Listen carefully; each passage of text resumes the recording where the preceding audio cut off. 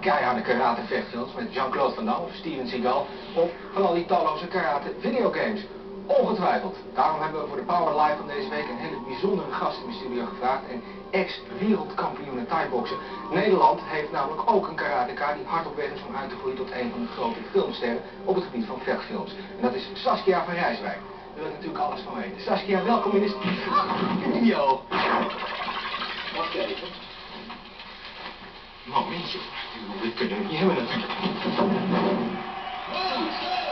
Oh!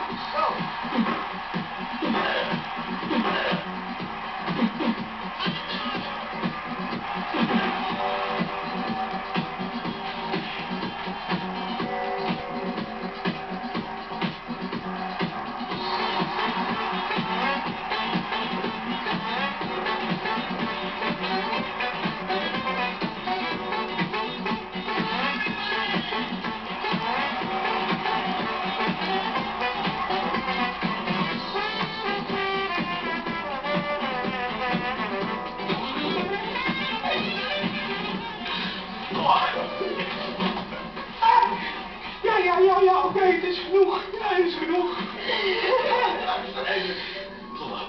Het moet een heerlijk gevoel zijn om uh, al die kerels heen en weer te smijten. hè. Ik bedoel, Je bent uh, meestal de heldin. Dat is natuurlijk heerlijk.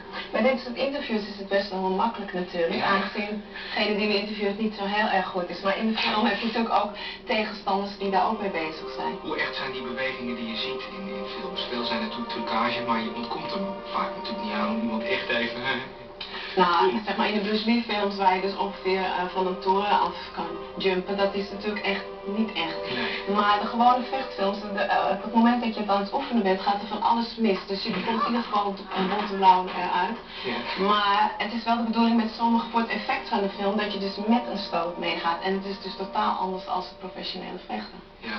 Bij die gevechten is je timing natuurlijk heel erg belangrijk. Gaat er wel eens iets mis? Er gaat vaak iets mis, want ik heb ook eens een bijl in mijn laars gehad en dan schrik ik best wel. Ja, en ik, eh, ik doe vaak mijn eigen stunts en eh, met eh, bepaalde ontploffingen vergeet ze ook eens uh, three, action te zeggen. En dan moet ik dus wel gelijk wegwezen.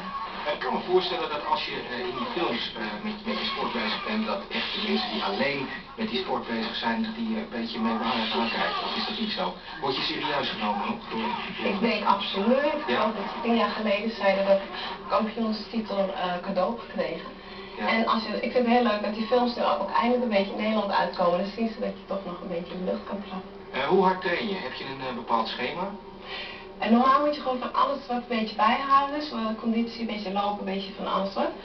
En als ik eh, zeg maar echt eh, voor een actiefilm gevraagd word, dan willen ze toch liever een beetje een sterke, gespierde vrouw. Dus moet ik iets meer met gewichten. Je hebt een stukje gespeeld op eh, Street Fighter.